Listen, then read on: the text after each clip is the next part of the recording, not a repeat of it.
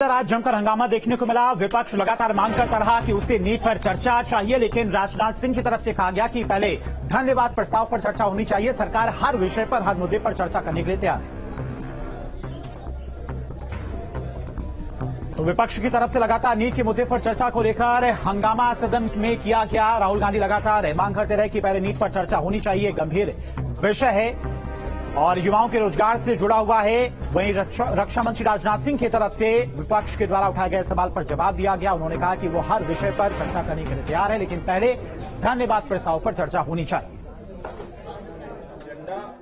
Rules और procedures के अतिरिक्त कुछ हेल्दी ट्रेडिशन हैं संसद की जिसके आधार पर कार्रवाई चलती है। और मानता हूँ कि ये हेल्दी ट्रेडिशंस हमारे संसद की एक सबसे बड़ी ताकत है। जब कभी भी राष्ट्रपति जी के अभिभाषण पर चर्चा होती है।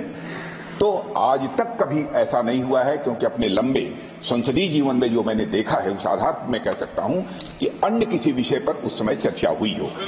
इसलिए मैं अपने सभी सम्मानित विपक्ष के सदस्यों से भी आग्रह करना चाहता हूँ, आप जिस विषय पर चर्चा करना चाहते हो, आप चर्चा करें। लेकिन एक बार राष्ट्रपति से संबंधित जो धन्यवाद प्रस्ताव है उसको संसद में पारित करने के बाद ही करें। सर पार्लियामेंट से देश को मैसेज जाता है। ठीक है। और हम हम स्टूडेंट्स को मैसेज देना चाहते हैं कि जो नीट का इशू है ओके। वो पार्लियामेंट के लिए ज़रूरी है। ठीक है। इसलिए मैसेज देने के लिए हम चाहते थे कि एक दिन पार्लियामेंट चर्चा। करे। मैं देखता हूँ। ठीक है। केंद्रीय मंत्री गिरिराज सिंह की तरफ़ से लगातार कहा गया कि विपक्ष सदन की मर्यादा को तार तार कर रहा वही कांग्रेस सांसद तारिक अनवर की तरफ़ से कहा गया कि नीट पर चर्चा बहुत ज़रूरी है। दुर्भाग्यपूर्ण है कि लोकतंत्र में ऐसे विपक्ष की टोली आ गई है, जो लोकतंत्र की मर्यादा को तार तार की है और हर बात पे विरोध करना, अराजकता की स्थिति पैदा करना जो हमारा स्पीकर होता है, चाहे उस गद्दी पे कोई बैठा रहे, उसके गरिमा को तार तार करना और हर बात पे वॉकआउट करना, ये दुर्भाग्य। हम लोगों ने इसलिए वॉकआउट किया कि ये मामला बहुत गंभीर है, नीट वाला, और हम लोग पहले दिन भी इसको उठाए थे। आज भी एलओपी ने इस मामले को उठाया, और हम लोग ये उम्मीद कर रहे थे कि राष्ट्रपति के भाषण पर धन्यवाद प्रस्ताव से पहले इस पर बहस हो, चर्चा हो, लेकिन सरकार इस बात को मानने को तैयार नहीं है।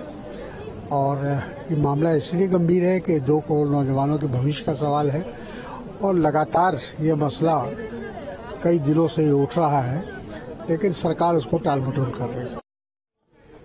वहीं राज्यसभा में आज चुनाव पर भी चर्चा हुई। मल्लिकार्जुन खड़गे ने कहा कि संविधान को मानना ज़रूरी है। वहीं अनुराग ठाकुर की तरफ़ से कहा गया कि जनता ने प्रधानमंत्री मोदी को एक बार फिर से चुना है, एक बार फिर से मौका दिया है।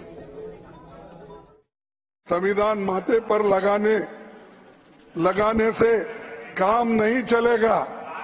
संविधान माथे पर लगाने से काम नहीं चलेगा, बल्कि इसके मूल्यों पर आपको चल कर दिखाना होगा।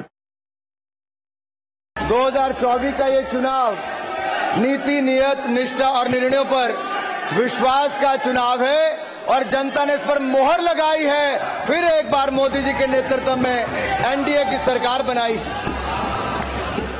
देश का ये चुनाव, ऐतिहासिक जनादेश, हमारे यशस्वी प्रधानमंत्री श्री नरेंद्र मोदी जी के पिछले दस वर्षों के सेवा, सुशासन और गरीब कल्याण के महानुष्ठान पर मोहर है। देश को ज़रूरत थी एक स्थिर और निरंतर सरकार की। और देश ने एक स्थिर, निरंतर और प्रभावी सरकार को फिर चुना है और मोदी जी को फिर देश का प्रधानमंत्री चुना है। ये जनादेश विकसित भारत के संकल्प की सिद्धि के लिए है। ये जनादेश मोदी जी के नेतृत्व में तीसरे कार्यकाल में भारत को विश्व की तीसरी बड़ी अर्थव्यवस्था बनाने के लिए है। ये जनादेश विपक्ष के भय, भ्रम और भ्रष्टाचारी राजनीति पर तमाचा है। और देश में आज से कई सारे नियम कानून बदल गए हैं और ये कानून सीधे आपसे जुड़े हुए हैं, लेकिन विपक्ष इसे सिरे से नकार रहा है। आज़ाद भारत आज़ाद भारत में नई व्यवस्थाओं के साथ जो एक पहल की है, हमारे प्रधानमंत्री नरेंद्र मोदी जी ने, एक नए युग की शुरुआत है और लोगों को न्याय मिलेगा। पहले उसका नाम ही दंड संहिता अब न्याय संहिता हम न्याय के लिए लड़ाई लड़ रहे हैं दंड देने के लिए मैं समझती हूँ, ये बहुत ही गलत तरीके से ये हाउस में पास हुआ।